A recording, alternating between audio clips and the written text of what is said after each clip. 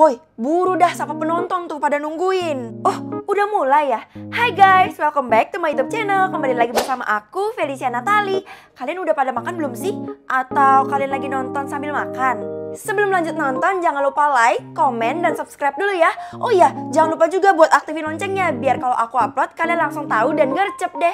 Jadi langsung aja, selamat menonton! Mata tajam. Aduh, buku tugas aku mana ya, Ma? Emang bener-bener ya kamu? Itu yang lagi kamu pegang apa? Oh iya, ya udah kalau gitu aku berangkat ke sekolah dulu ya. Eh, sebelum itu karena mata kamu buram, jadi kayaknya harus ditajamkan deh. Di ditajamkan?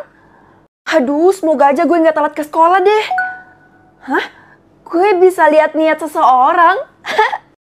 Pagi semuanya. Pagi, Vel. Hari ini lo cantik deh. Um, lo pasti ada maksud tersembunyi kan? Ah, ketahuan. Lo pengen nyontek PR gue kan? Tahu aja. Boleh kan? Um, karena gue lagi baik hati dan pengen berbagi, jadi boleh deh. Yeay, makasih ya. Sama-sama. Eh, bocil nggak tahu diuntung ya lo? Sini balikin. Nggak jadi gue pinjemin. Aduh, ternyata lo bisa lihat niat seseorang ya. Anak-anak, karena hari ini saya ulang tahun, jadi kalian semua saya undang ke rumah saya. Hah? Yang bener bu, berarti makan gratis dong. Berarti hari ini aku nggak usah beli makan, biar bisa makan di tempat bu guru. Bener tuh, kalau gitu gue bakal puasa mulai sekarang biar bisa makan yang banyak. Boleh-boleh, nanti ibu share ya alamat lengkapnya di grup kelas. Um, Aneh, gue nggak bisa baca niatnya Bu Guru. tapi gue yakin banget kalau niatnya buruk. Tumben banget ya Bu Guru ngerayain ulang tahunnya Karena setahu gue Bu Guru itu benci sama ulang tahun kan? Iya, kayaknya ada yang aneh deh BTW, lo bisa lihat niat seseorang kan? Kalau gitu cepetan lihat punya Bu Guru Ehm, Anehnya niatnya nggak muncul Jadi gue nggak tahu deh Yah, ya udah deh nggak apa-apa Yang penting hari ini kita bisa makan gratis Hai Feli, khusus kamu, kamu harus datang ke tempat ibu lebih awal ya Hah? Bu buat apa bu? Ibu punya sesuatu cuman khusus buat kamu khusus ibu nggak punya niat buruk kan? ya jelas enggak dong. Ngapain ibu niat buruk ke murid sendiri? Oke bu. Mah, aku pamit dulu ya. Mau ke rumahnya bu guru buat ngerayain ulang tahunnya. Hah? Nggak biasanya? Em, mata kamu kan udah mama mata jamin. Jadi kamu udah pasti bisa lihat niatnya bu guru kan? Cuman bu guru yang nggak bisa aku lihat mah. Aneh banget kan? Ya udah, itu artinya kamu harus pakai kacamata ini dan sesampainya di depan bu guru, kamu harus langsung buka dari mata kamu. Ah, ya udah deh, aku nurut aja apa yang dibilangin sama orang tua. Yo, what's up guys? Wih, kece betul lah kawanku ini memakai kacamata segala. Biar lebih menghayati pestanya guys. Jip, ajib, ajib. Eh, lo kelihatan aneh, Vel. Ya udah deh, gue mau makan dulu nih karena udah lapar, lapar, lapar. Mana ya Bu Guru? Bukannya tadi Bu Guru nyuruh gue datang duluan. Kenapa di sini udah banyak orangnya? Psst, psst. Feli, sini. Oh, iya Bu. Karena kamu murid kesayangan ibu, jadi kamu berhak mendapatkan uang dari ibu. Tuh, tunggu. Ini maksudnya apa? Kenapa uangnya banyak banget, Bu? Ehm, gak ada alasan. Pokoknya kamu harus terima uang itu. Oke, saya bakal terima uang itu. Tapi sebelum itu, saya bakal buka kacamata saya dulu. Hah? Emangnya buat apa, Vel? Kena kau. Ayam kodok-kodok. Eh, Feli, itu mata kamu nggak apa-apa? Hah? Emangnya mata saya kenapa? ya udah nih, kamu minum dulu buat tenangin diri. M- Makasih ya, Bu. Hah? Loh, kok kenapa air minumnya kamu tumpahin? Karena saya udah tahu kalau sebenarnya ibu masukin sesuatu kan ke dalam air minum ini. Ih, jangan fitnah ya kamu. Sekarang semua mata tertuju pada gue. Ya ampun, Vel. Itu kenapa mata lo jadi kayak ular? Jangan-jangan lo habis makan ular ya? Jangan ngada-ngada deh lo. Ini karena mata gue udah semakin tajam. Kalau gitu, pasti lo udah bisa lihat niatnya Bu Guru kan? Hai, kenalin gue Justin. Lo murid baru ya? Soalnya gue nggak pernah lihat di sekolah. Iya bener, dan gue mau nunjukin sesuatu ke lo. Sesuatu? Gue tahu kalau lo lagi nyelidikin Bu Guru kan, dan sebenarnya dia punya ruang rahasia loh di rumahnya ini. Wah, berarti kita bisa bekerja sama buat ngebasmi kejahatannya Bu Guru.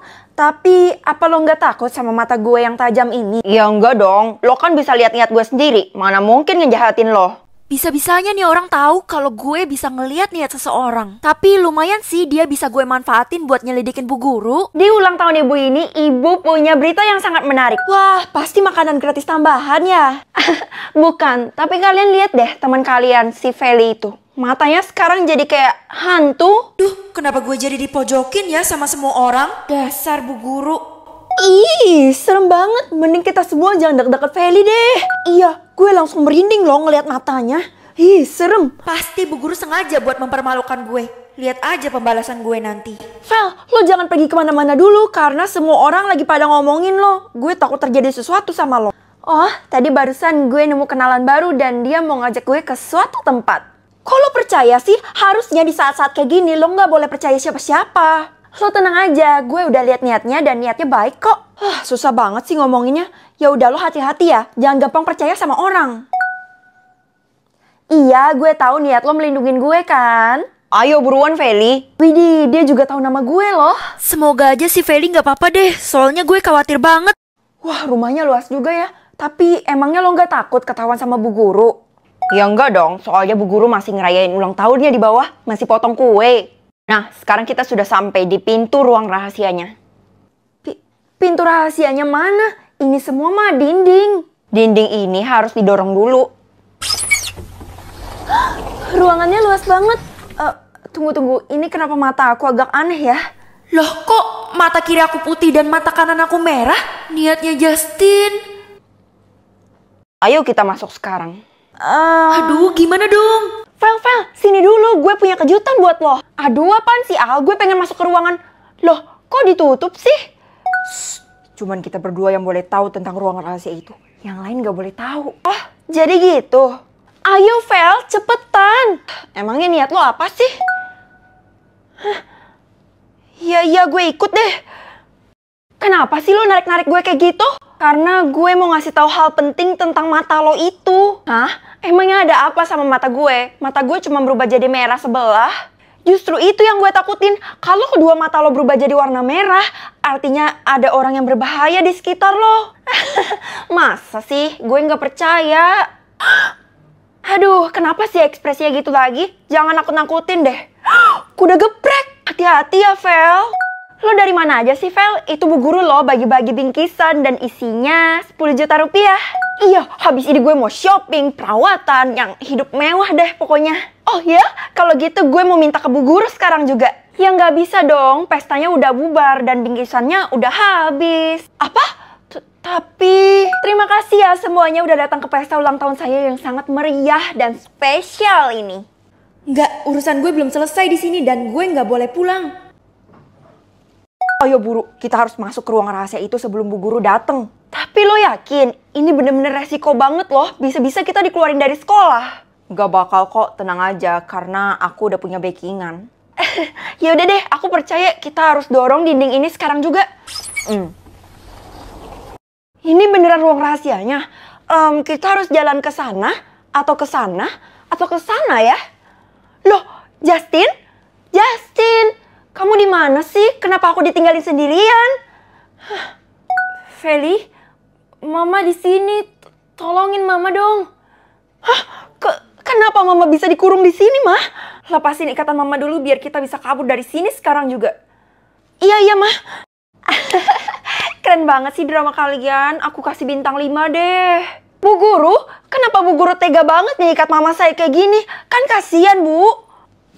Kamu nggak usah ikut campur. Ini urusan antara istri dan selingkuhannya papamu. Apa? Mama adalah istri sah papamu dan ibu guru ini adalah selingkuhannya. Tapi ayahmu telah menghamili aku dan akhirnya aku melahirkan si Justin itu. Dia nggak mau bertanggung jawab. Loh, kok jadi salah aku sih, Ma? Sekarang karena kalian berdua udah berkumpul di sini, artinya ini saat yang tepat kan menghabisi kalian semua. Mah, kita harus kabur sekarang juga. Udah lama banget aku dendam sama kalian dan akhirnya hari ini tiba juga. Hari melampiaskan dendam kepada kalian. Tunggu, polisi udah datang dan kalian berdua nggak bisa kabur lagi. Alia? Sekarang lo harus gunain kesempatan buat lari, Vel. Karena tangan bu guru udah gue pegang keras-keras. Ayo, mah. Iya, nak. Ayo. Oh, sekarang kamu mau jadi pahlawan ya, Alia? Jangan sakiti sahabat terbaikku. Jangan coba-coba cari masalah sama saya.